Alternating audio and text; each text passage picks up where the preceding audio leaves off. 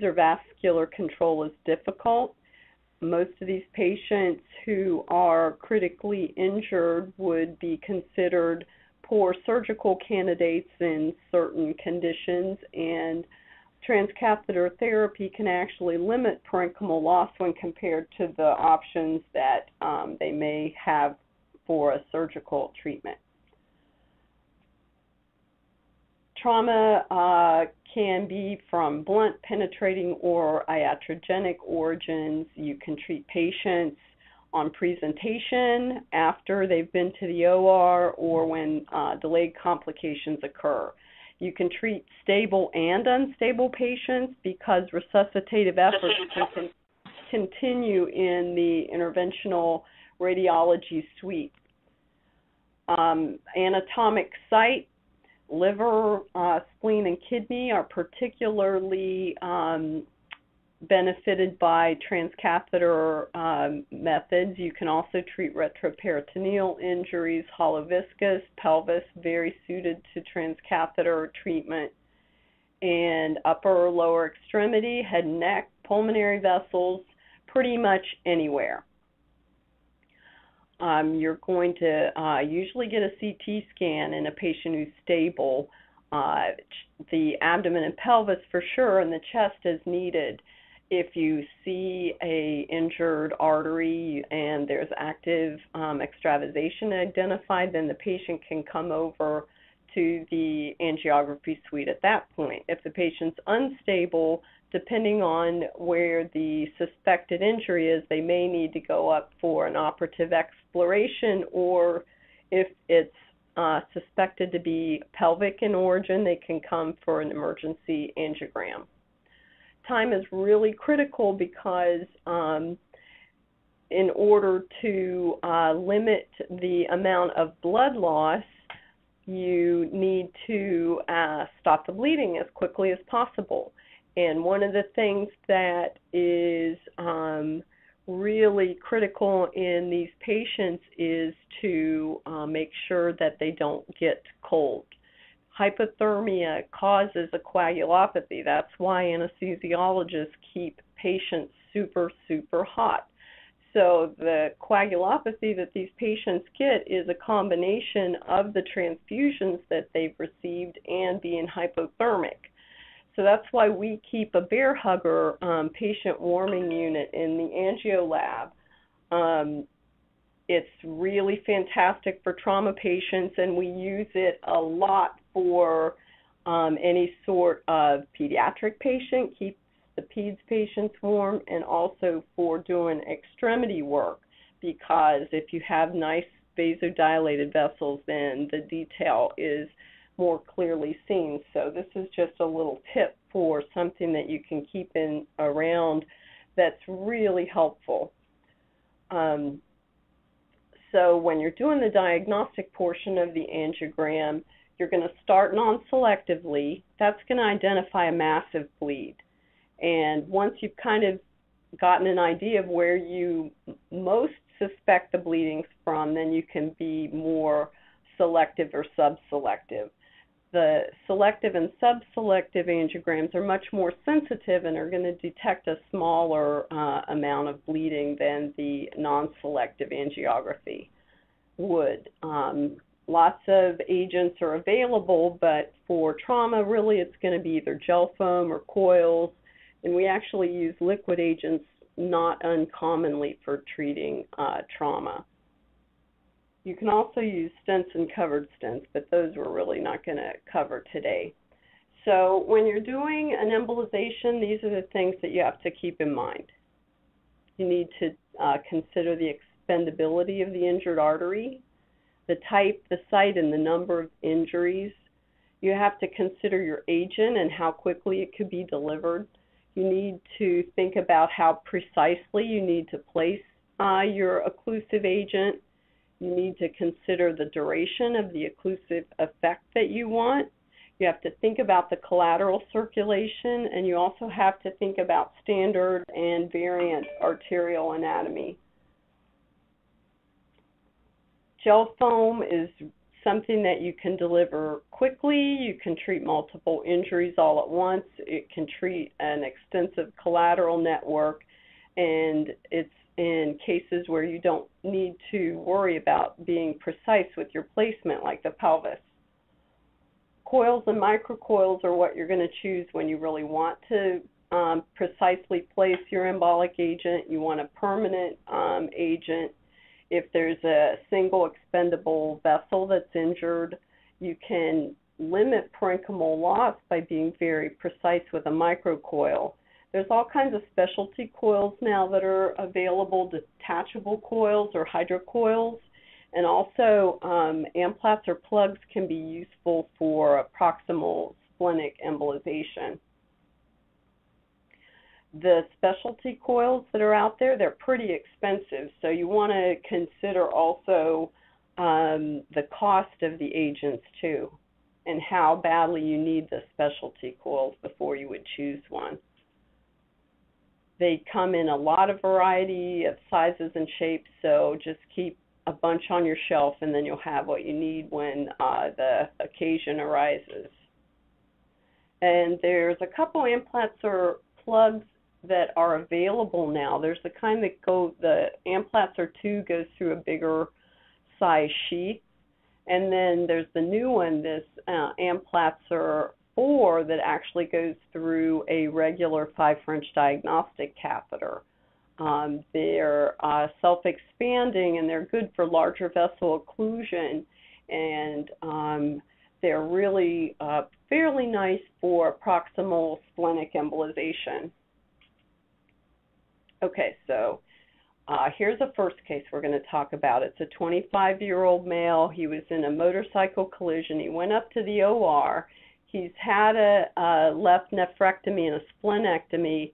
He's unstable and has ongoing hemorrhage that they're having trouble controlling. So, how would you approach this? Are you guys going to respond or am I going to just continue? Tell me. Probably best that you continue. It's uh, okay. No problem. Okay, I'm so used to teaching it that it's weird to be in a, a place where I'm not looking at people. Okay, so you're going to start non selectively. You're going to identify major bleeds. Um, and in this case, you do the aortogram and you see two areas where there's pretty brisk hemorrhage one up in the upper abdomen and one in the lower abdomen near the pelvis. So start with a pelvic injection, inject the internal iliac on the left, and um, you see the bleed, but it looks like more than one branch is contributing to this. So uh, routine scatter embolization with gel foam was done, but you have to remember to interrogate potential collaterals so L4 was examined, and there's the bleed again. It's really shaped similarly to what we saw on the internal iliac angio. So have to embolize the collaterals as well, as well. And that upper abdomen selected L1, secluded, but you're not done because you have to consider the collaterals. Go to L2 and you can see the bleed is collecting distal to where L1 um, artery was occluded. So just because you see a vessel occlusion, that doesn't mean you're done. You really need to make sure you examine all the collateral vessels, particularly true in the pelvis, the um, chest wall, and the abdominal wall. Okay, so now we're going to talk about some specific organ injuries. Um, hepatic injuries, they used to do routine laparotomy for that, but it was non therapeutic two thirds of the time. And to do an operation and not actually find an injury, very, very um, morbid.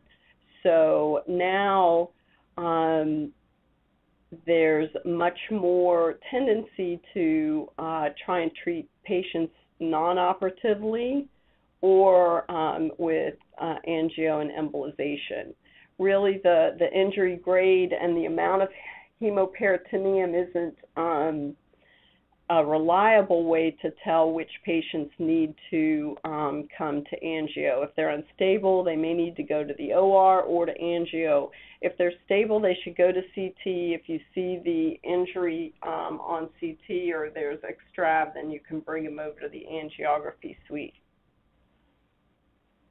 because of the dual blood supply, the liver is an ideal organ for embolization, and you're going to use probably either gel foam or coils. There's about an 88% success rate, and the complications, which are usually an abscess, about 8% of the time. Okay. So here's a guy who had a gunshot wound a week earlier, and then he had a fairly abrupt drop in his hematocrit 31 down to 15 and you see active extravasation into a really large uh, hematoma there. Here's a selective um, in angiogram of the uh, hepatic artery. You can see there's a big subcapsular component to this as well. And um, there's multiple sites of bleeding. There's active extravasation and an AV fistula. Uh, and gel foam, you can treat multiple injuries pretty quickly. So gel foam slurry was used um, to uh, treat this, and you can see there's no more filling of the AV fistula or extravasation into that hematoma.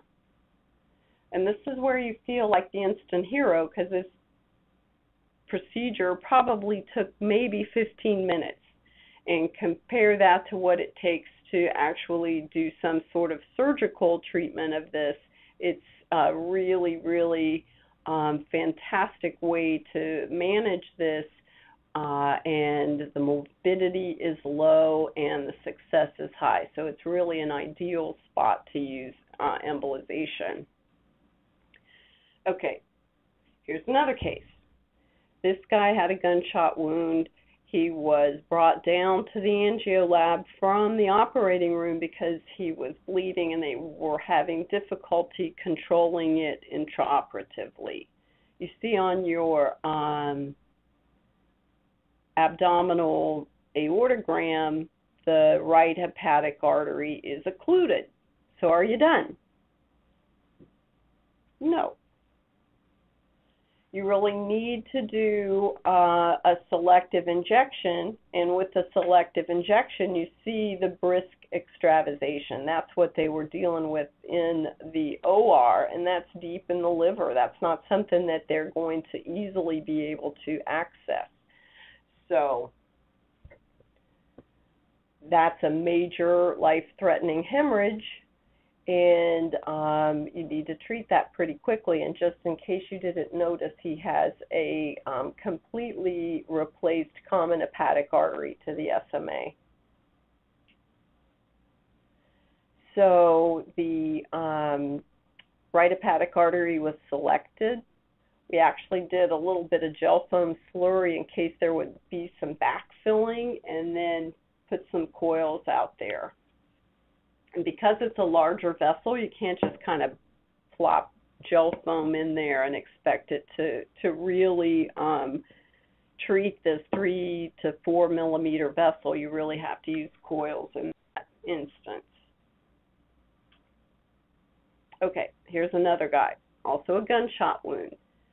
He'd been managed non-operatively for a few days, and then he had fevers and so he had a CT scan, and you see the the pseudoaneurysm there. It's like a light bulb in the middle of that hematoma.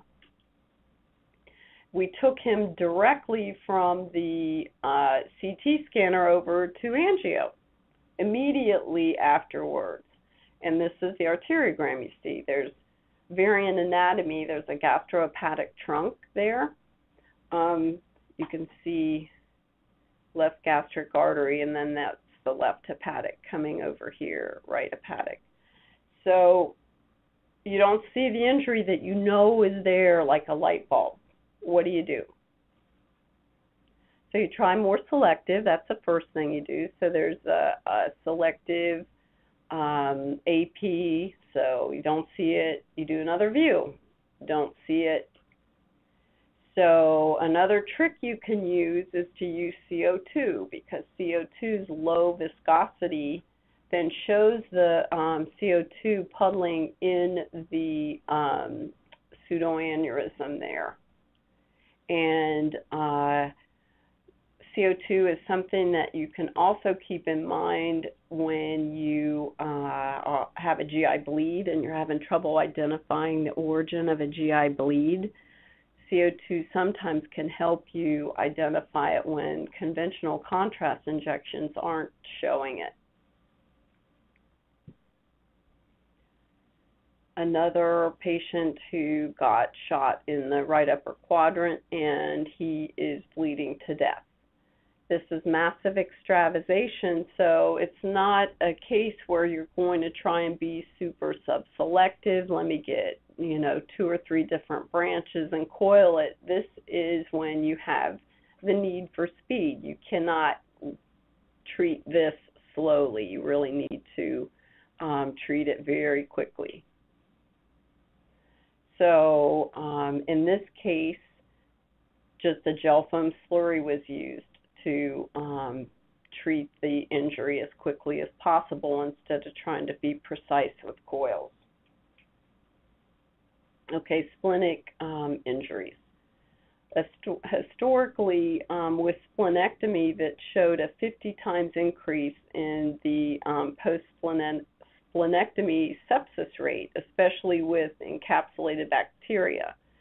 So, pediatric surgeons trauma surgeons were actually the first to really try non-operative management, and um, they really tried to salvage the spleen in children.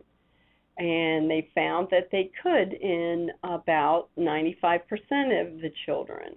Um, adult trauma surgeons were a little slower to adopt non-operative management, but eventually they did come around to non-operative management being the standard of care. And there's about an 80% success rate of non-operative management in adults.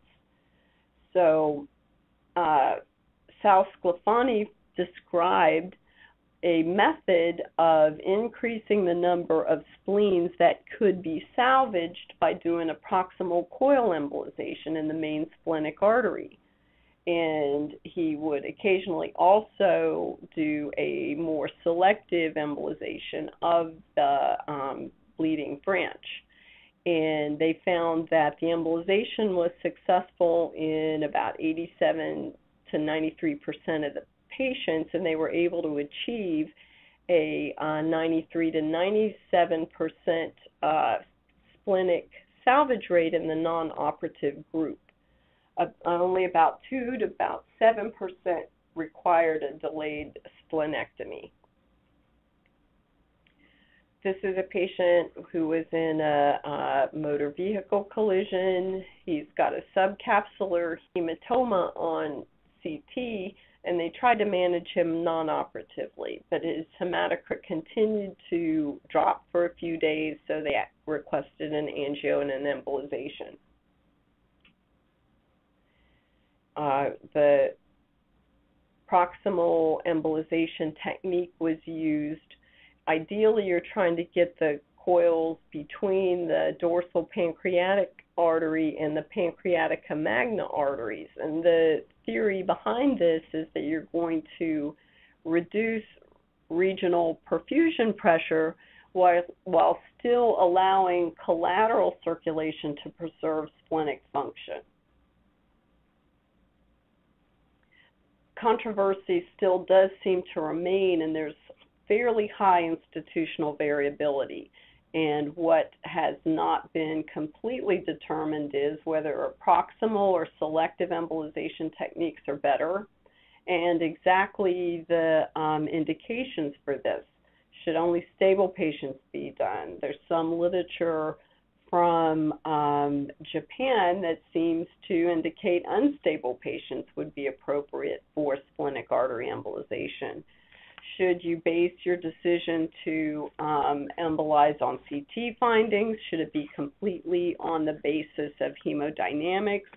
And some people use transfusion requirements as the decision whether to um, do a splenic embolization. There's really not good standardization. Um, there's several treatment algorithms out there. Um, one of the uh, newer articles that I've seen about this that I really like is this one from uh, May of last year from the Journal of Trauma and Acute Care Surgery. Um, Dan Siragusa, who I who's a um, member of the SIR, um, was a participant in this, and it was this article, Selective Angiographic Embolization of Splenic Traumatic Injuries in Adults. And it's a really good article. I recommend you guys look it up. And the other article that I recommend is um, The Effects of Splenic Artery Embolization on Non Operative Management, a 16 year experience. These are two very good, um, fairly comprehensive articles with some good long-term follow-up. What both of these um, institutions has discovered is that, and they agree in their algorithms that unstable patients need to be in the OR. Patients um, who are stable, who should get splenic artery embolization, are those who um, have evidence of extravasation or a vascular injury like a pseudoaneurysm on a CT scan. Anybody who has a grade 4 injury should also most likely go for a um, angio and embolization. People who um, have a dropping hemoglobin in the period of observation also can benefit from embolization and stable patients with grade 1 or 2 injuries should be observed. There's some disagreement between these two articles whether patients with grade 3 injuries should be observed or should get an embolization. They they don't quite agree on that, but I think for the most part, there's good evidence that um, splenic artery embolization is beneficial, and in these clinical situations, does improve an institution's splenic artery salvage rate. Standardized treatment algorithms um, that incorporate splenic embolization will um, increase the splenic salvage for blunt trauma. Uh, the articles really don't differentiate between proximal and distal embolization techniques. Both seem to be effective complications were pretty minor for both groups. Usually, um, there's small infarcts.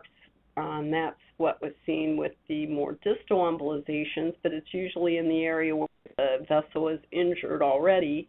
And recurrent um, or continued bleeding was also seen. And those patients then would um, either come back and have another attempt to uh, treat with embolization or go to the operating room. Okay. Renal um, arteriography for trauma uh, should be done when there's persistent or recurrent macrohematuria. If there's active extravasation seen on CT, if there's a large retroperitoneal hematoma that's observed at surgery and they don't want to incise the retroperitoneum to explore it, um, it's really more common to do um, or renal embolization for penetrating rather than blunt trauma because if the kidney is injured from blunt trauma, usually the force that's required to injure the kidney is such that it's a very high grade injury and may not be appropriate for embolization. So this is a guy who got stabbed in the right flank. He had gross hematuria in the CT scan. That's his angiogram. There's a subtle lesion there in the lower pole. and it's just so beautiful because you can get out into that one branch with some microcoils. And this is a perfect result for getting hemostasis, and essentially 95% of the kidney is still perfused. If um, this patient would have had an, opera- an operation, it's very unlikely that they would have been able to salvage this much kidney. So um, you can see the advantages of uh, tra- transcatheter treatment. Things you need to keep in mind when you're uh, choosing to embolize the kidney is that it's an end artery organ. You are going to get an infarct, and that's why you want to be very um, precise with your uh, embolization agent. Microcoils are really uh, most appropriate for this. The success rate in the literature is anywhere from 82 to 100 percent, and compared to the surgical options, it's uh, renal sparing.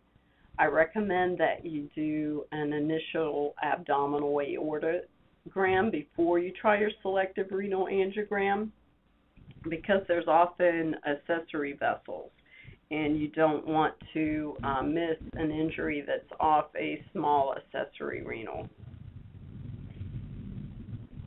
Okay, this patient um, has active extravasation seen here on a CT scan. It's out in the retroperitoneum, but it's not really clear uh, the source of the bleeding. Comes over to angio and you do the angiogram, and you definitely see uh, active extravasation there, but the source of the bleeding isn't exactly clear. So do a right renal injection, and you can see there's an adrenal hemorrhage.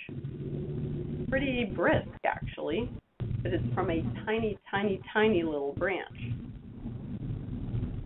And this patient, we chose to do a glue embolization. So the question is, why would you use a liquid agent in this case? So it's a tiny little branch. The microcatheter is essentially occlusive in it. So if the vessel is stagnant, you can't really get the gel foam to deliver properly out into the peripheral part of the um, injury. If you just put a coil proximally, then you may allow bleeding from collateral flow. And glue penetrates like toothpaste. So you just um, inject it slowly so you see the forward progression of the um, glue cast until you see it out into the area of extravasation. And then you know you've gotten both the bleed and you kind of close the back door so you're not going to allow any collaterals out into the um, uh, area of the injury. So you don't want to close off the front door without thinking of collaterals that may also bleed. Here's a guy who's been to the OR, obviously, had a small bowel repair, a left nephrectomy, but he continued to have um, bleeding postoperatively.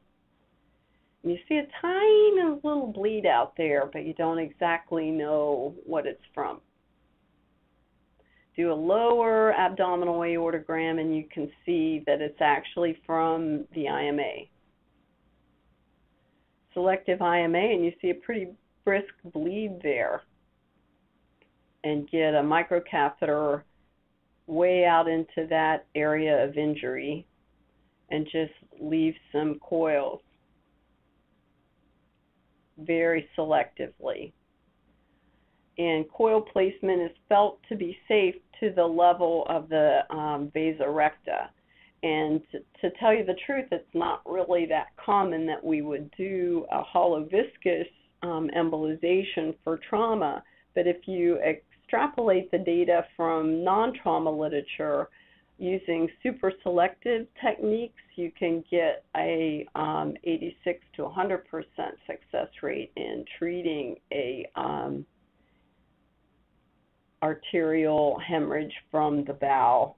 So hopefully this would at least stabilize the patient um, long enough, and if he would need to go to the OR at some point, um, he'd be in better condition hemodynamically to tolerate that. So you want to stop the hemorrhage as quickly as you can. Watch him clinically.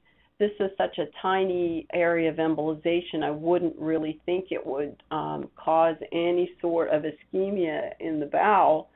But even if there would be a tiny area of ischemia that develops, you've stopped the hemorrhage. The patient can be um, resuscitated properly, and he could um, go to the operating room at a time when he's in better hemodynamic condition. Pelvic trauma is an area where um, interventional radiology techniques really are important because if you take the patient to the OR, you're working in a confined, confined space. It's really hard to identify um, a bleeding site. And once they incise the peritoneum, the tamponade effect is lost. Um, often, what they offer surgically is a ligation of the internal iliac artery, and that's ineffective due to all the collateral circulation. So you're going to do um, pelvic embolization in patients who are hypotensive with um, pelvic fractures, who uh, have a decreasing hematocrit, who have a CT documented hematoma or active extravasation, or a patient who's been to the OR and has a um, pelvic hematoma that they observed surgically. You can do them either before or after the laparotomy, and we often do very unstable patients. Um, it can be from uh, either blunt, penetrating, and occasionally iatrogenic injuries.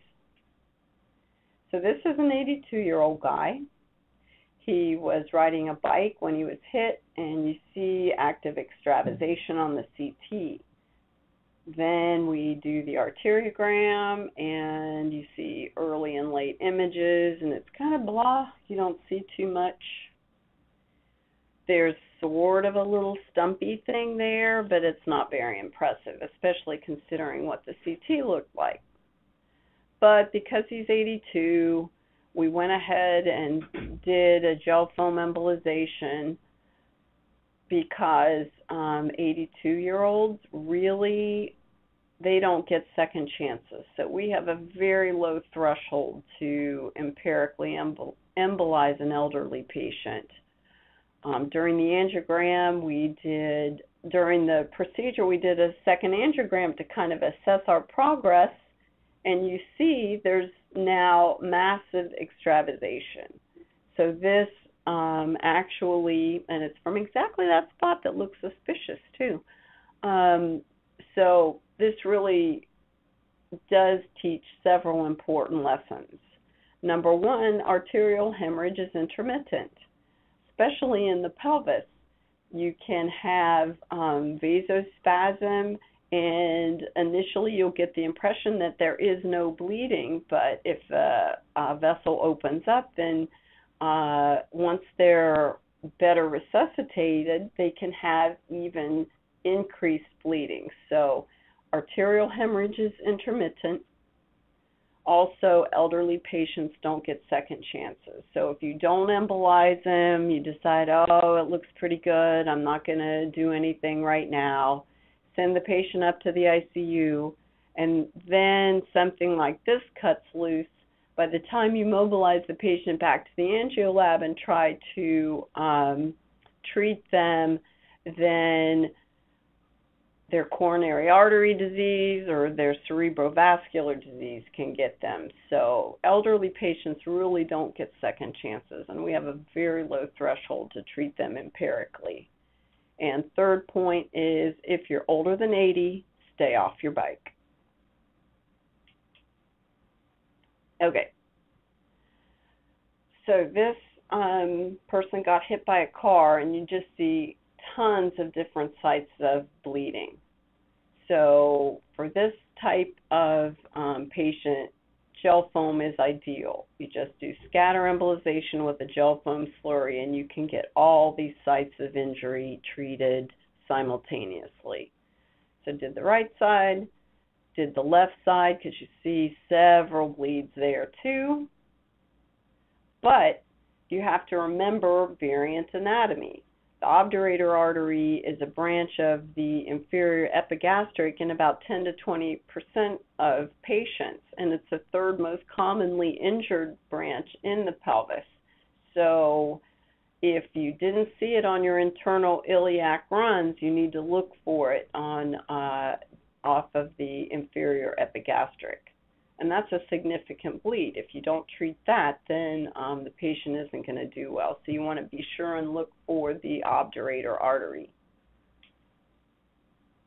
We always start with a non-selective view. Don't go directly to the internal iliac artery because you don't always know what branch is going to be bleeding the most briskly. In this case, it's an old case, but it does teach an important lesson. It's the profunda femoris that's bleeding the most briskly. And if you would have wasted a lot of time treating the internal iliac arteries, that's a lot of hemorrhage to tolerate. So you need to do a global view, um, identify what you consider to be the uh, worst injury, treat that first, and then you can be more selective and look for other smaller bleeds. Um, so here's the technique.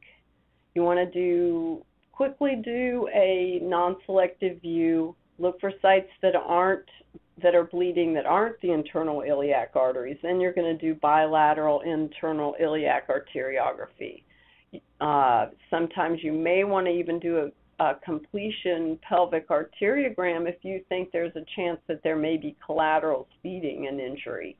And for critical patients or elderly patients, empiric embolization is indicated. Success rate about 90%.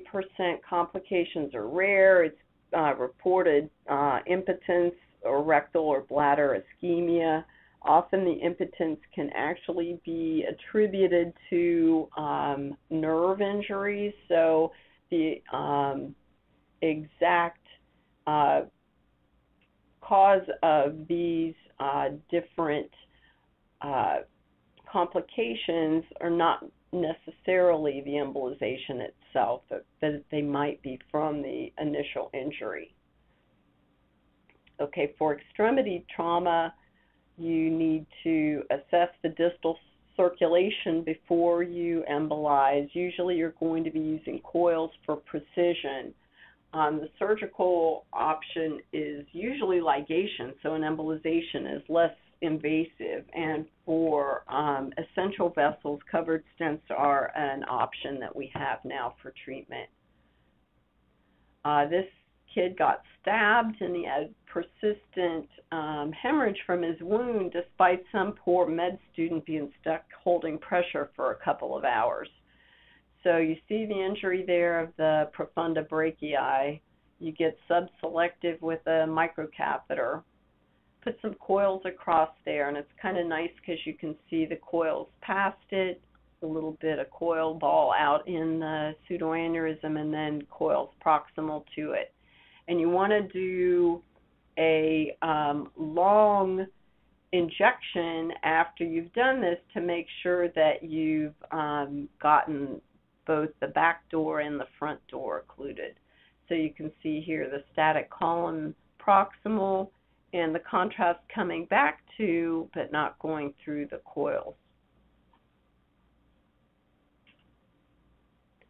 Um, here's a what not to do this guy had a uh, shotgun wound to his thigh and had an AV fistula that you see here. And what you cannot do in an AV fistula is just put a proximal coil in and expect that to treat the injury. here's a couple coils, here's the AV fistula. It looks like nothing was done to this. So what you really have to do in the case of a AV fistula, because of the pressure differential, there is a drive for the blood to go from the artery to the low pressure vein. Much less likely to spontaneously thrombose in a pseudoaneurysm where there's not a high pressure in that and there's no pres- pressure differential. So for an AV fistula, what you really need to do is isolate the um, injury. You need to get a coil distal and proximal to the injury to isolate it so you don't get collateral flow through the fistula. This um, guy had a gunshot wound about two years prior to this angiogram. He has a pulsatile mass, and this is the arteriogram. Um, from the popliteal artery down, you see the big AV fistula off of the AT. But then, because the um, fistula is from a high pressure to a low pressure situation, it ends up looking similar to an AV malformation and it um, recruits branches even off of the um, posterior tib- tibial and peroneal arteries. So you can't just jam a coil down here and expect this to be treated. It won't treat the AV fistula. So tried to get through the AT directly to get distal to the injury, but couldn't really get distal from the um, anterior tibial artery. And it's a fairly complex um, network of vessels here that come to the distal AT. So you can't really treat this just with a proximal coil, so what do you do? So what we did was we actually stuck distally into the anterior tibial artery, practically at the dorsalis pedis, and put a um, catheter up the distal part of the anterior tibial to put the distal coil that we put from below and put proximal coils from the um, femoral artery access and isolated the AV fistula. So this is a post embolization image that shows the coils on each side of the injury. There's no more fistula and with um, proper coil placement, um, complications for extremity embolization are very rare, and um, success rate is somewhere between 85 to 100 percent. And in conclusion, embolization safe and effective in trauma. You need to know and consider the surgical alternatives you should know the anatomy, the variant anatomy, and collateral pathways. I recommend in our practice here is to begin with a global examination where you um, can exclude um, all the areas that possibly may be injured, and then you um, continue with more sub-selective catheterization of those vessels that are most likely to be injured. You have to balance the speed of sort of a scatter embolization with gel foam with the precision um, of a coil placement based on the lesion type and how quickly you feel like you need to treat the patient. You have to um, also balance the speed that you need to precisely treat an injury um, with the risk of the amount of parenchymal infarct that you may get. You shouldn't wait for a patient to stabilize to treat them because treating the hemorrhage is going to be the only way to stabilize these patients. So um, you can resuscitate a patient in the angio lab, bring you know whatever blood products you need to support their clotting system, and um, do all the resuscitation and transfusion protocol in the angio lab instead of waiting for them to stabilize because if they're getting massive transfusions and still bleeding, they're never going to stabilize.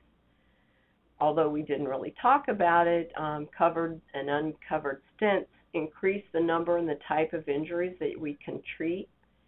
And this is an area where there are no turf battles uh, we're the trauma surgeon's best friends.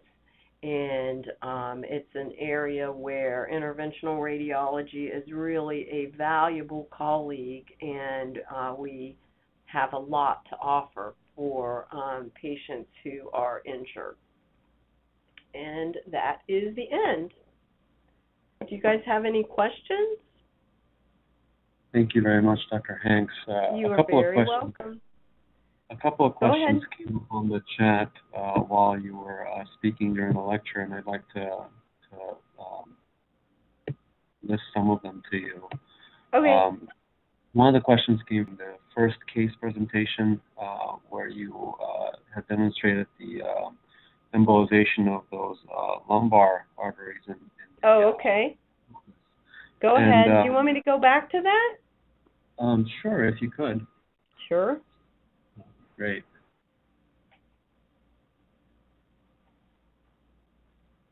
My very first case. Yes. Okie doke. And if, if you could Okay, what do you want to see? If you could take us through your decision process as to how you decided to use gel foam in this case as opposed to other agents such as glue Onyx or For the proximal injury or for the pelvic injury? for the um, for the particularly for the lumbar uh, branches that you um, embolized? Oh, up here? Okay. Yes. So, let's see.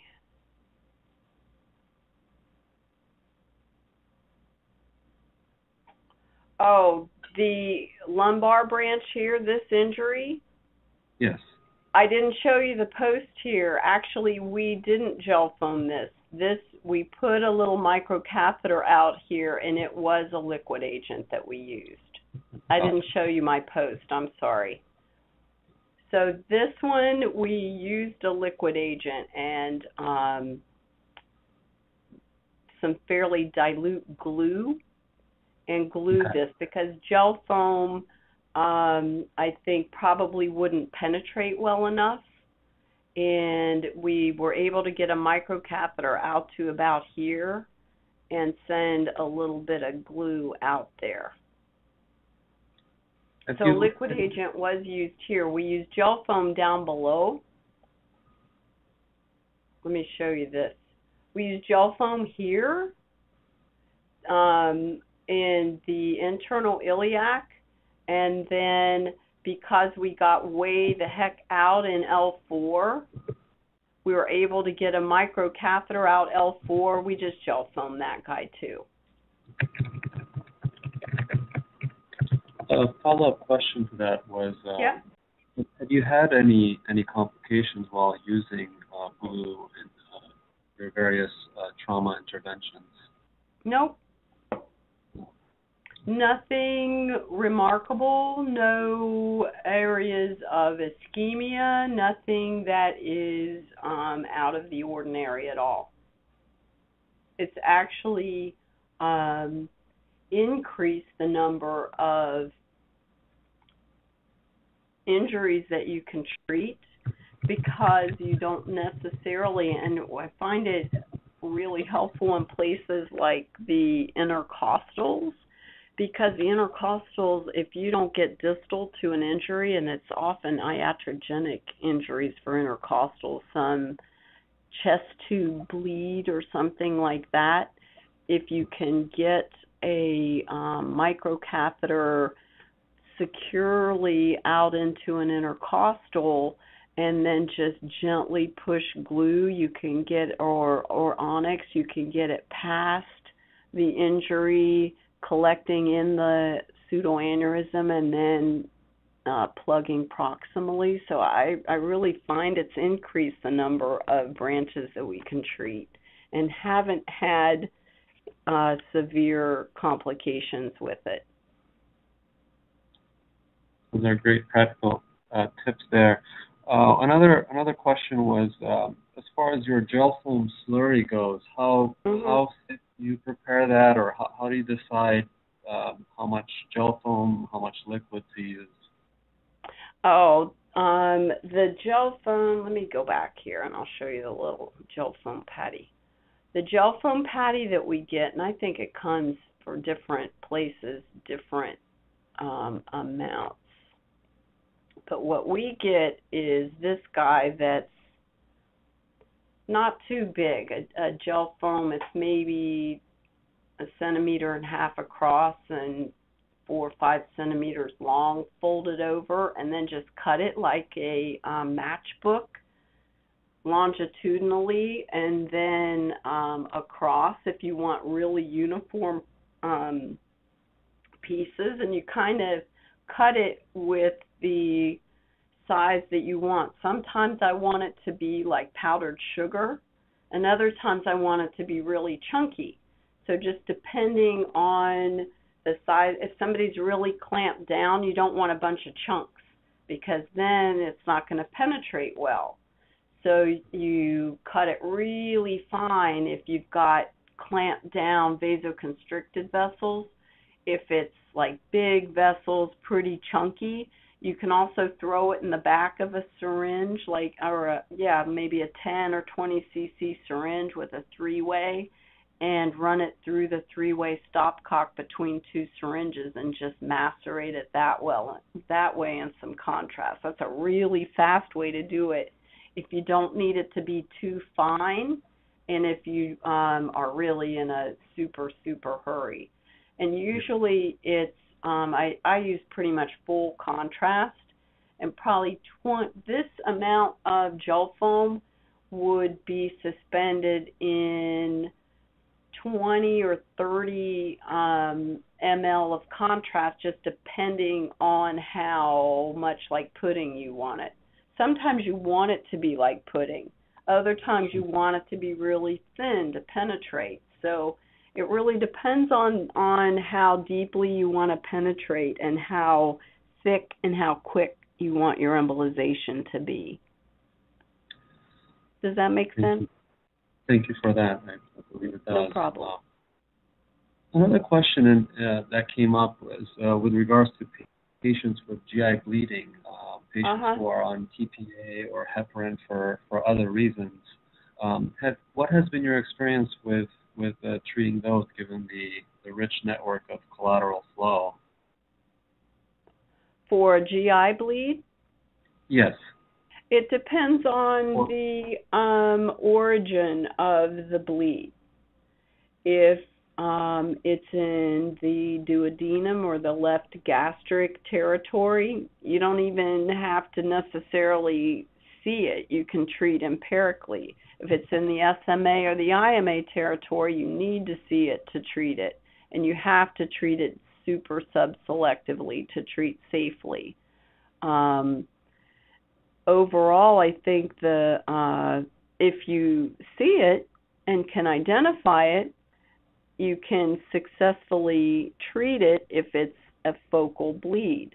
Occasionally, you're going to get a patient who's got um, bad ulcerations um, in more than one location, and you see more than one hemorrhage, and it may be too extensive of a network to safely treat um, percutaneously but if you see a focal bleed, usually you can um, get a microcatheter out to it, and um, the success rate is good for treating these. Now, do you have do you have an algorithm in the case where um, a GI bleeding patient is referred to you and uh, you do the angiogram and you don't see a bleed, or do you have an algorithm uh, as far as uh, giving TPA to uh, expose a bleed that may have Yeah. temporarily So this is what we usually do. We do a one negative angiogram without a provocative maneuver because there's always a lucky chance that they've stopped bleeding and that's it. But if you don't see anything and they bleed again, then um, a couple ways to go. If it's a really brisk bleed and you feel like they're actively bleeding, you bring them back to the angio lab. If it's one of those slow oozy things where they drop the unit over 24 hours and they may or may not be bleeding at a rate that's visible on angiography, we'd send them to get a tagged red cell scan. If it's a brisk bleed with a fairly precipitous drop, then we bring them back. If you don't see a bleed on the second time and it's like daylight hours, you would do um, a provocative maneuver. Start with two um, milligrams of TPA in the vessel that you suspect the most, which is going to be usually either the SMA or the um, IMA, and uh, wait 10 minutes redo the angiogram. If you don't see anything, give them four milligrams of TPA. And if you don't see anything, then you're done. If you see something, then you embolize it. We usually don't do this in the middle of the night when there's like no support, no surgical backup, because if you get somebody bleeding, and like we were talking about earlier, if it's in an area that you really can't safely embolize and you've started somebody to bleed in the middle of the night, it's not a wise situation. So we usually don't do provocative maneuvers unless it's you know there's the proper surgical colleagues to to support you if there is a, a hemorrhage that you elicit and then you aren't able to treat it. So that's what we usually do. Thank you for sharing your uh, your experience there. Uh, one additional question that I had uh, to your last conclusion, uh, as far as working together with surgical trauma colleagues, um, how do you at USC um, get involved in a trauma patient? Is it based on consultation or um, are you, as the interventional radiologist, part of the evaluation process at the time of imaging? And, and how, how do you see interventional radiologists becoming uh, more integrated in the decision-making process in taking a patient? What happens usually, um, and and there's no possible way for us to evaluate every CT scan that's done on a trauma patient. So, you know, we really aren't um, the initial people to interact with the the trauma surgeons. It's usually our imaging colleagues who are the first. But um, if they see active extravasation, then they call us and we talk about the patient's clinical situation and where the injury is and often it's like a very short conversation here's the bleed and we're and our response is okay we'll be there. It's it doesn't you know usually take an extensive consultation in a trauma patient to figure out what you need to do. It's pretty short conversation often. There are those that are a little you know there's gray zones. Patient who's got active extravasation from his pelvis hasn't had a blood transfusion has a blood pressure of 120 over 80 and is a 19 year old boy, do you want to, you know, necessarily be doing a pelvic angiogram on him or a young woman? Same thing. Do you want to be doing a pelvic angiogram on a perfectly stable patient, not requiring blood? who you see a small amount of extravasation on those patients, there is some discussion on those and and you just decide what's appropriate and what's not so it it consultation is usually at the point where a um, therapeutic intervention would be a possibility in the patient. It's not really at the point of imaging. Thank you. And we have one last question here um, with okay. regards to splenic uh, trauma patients and yep. uh, uh, what your experience has been with uh, whether you've seen uh, a decrease in the failure rate of uh, non-operative management when when the interventional radiologist intervenes. The um, splenic embolization for in those two articles studied Yes. a large group of patients. In our ex- institution, we're just now getting to the point where we're more um, consistently doing splenic artery embolization in these cases. Our algorithm here has been different than it was in these um, two articles. They're modifying, the trauma surgeons are modifying it somewhat, and we're doing more splenic embolization now, I think, than we've done in the past. And uh, I think it has definitely helped, although um, I can't really give you specific facts and figures for us for this institution, but I think those two articles that I talked about are pretty good and they're um, something that I think most good trauma programs should probably model their algorithms after.